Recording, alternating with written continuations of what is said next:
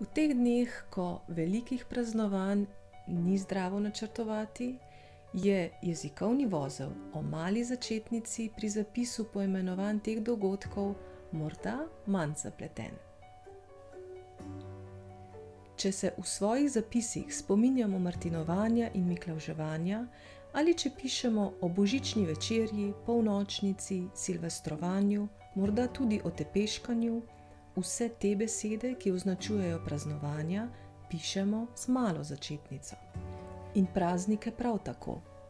Dan suverenosti, martinovo, ta veseli dan kulture, božič, štefanovo in isti dan, dan samostojnosti in enotnosti, silvestrovo, novo leto, svečnica, jožefovo in že bo tu velika noč.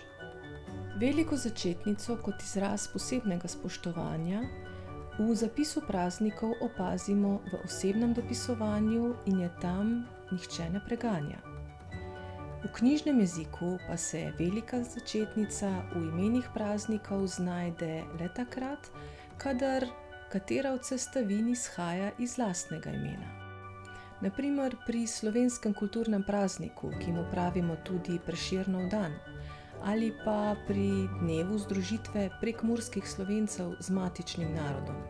V dneh pred prazniki si več časa vzamemo za voščilnice, izraze hvaležnosti in pisanje voščil.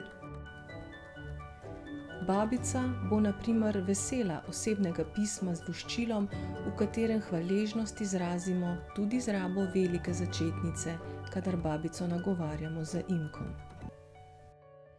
Voščilo poslovnim partnerjem pa ni osebno pisanje, zato je pomembno, da pri tem upoštevamo pravopisna pravila v uradnem dopisovanju. Spoštovani poslovni partner, v zadnjem mesecu tega leta se vam želimo zahvaliti za odlično sodelovanje. Želimo vam mirne božične praznike ter vse dobro in zdravo v novem letu. Veliko ustvarjalnosti in prostovoljne pravopisne discipline vam želim pri pisanju letošnjih voščil.